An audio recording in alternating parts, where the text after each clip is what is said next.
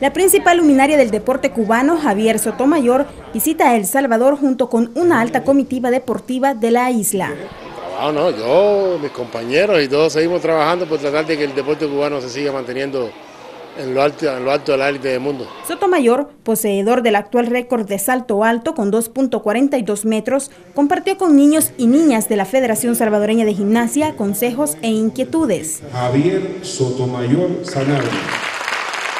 Junto a Javier también llegaron el ex basquetbolista olímpico de Múnich 1972, Tomás Herrera, el campeón mundial de boxeo, Félix Sabón, la gimnasta Lejanet Calero,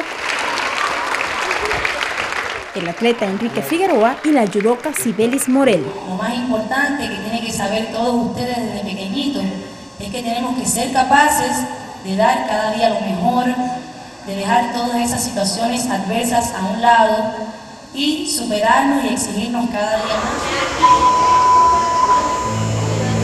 Los niños gimnastas salvadoreños aprovecharon la oportunidad para darles una demostración de lo que pueden hacer. Creo que está en que muchas personas practican el deporte, creo que el sistema deportivo nuestro eh, es lo que ha hecho de que tengamos tantos campeones a nivel mundial, a nivel Y los entrenadores salvadoreños regalaron recuerdos a los visitantes cubanos, informó para la prensa gráfica.com Ángela Medina.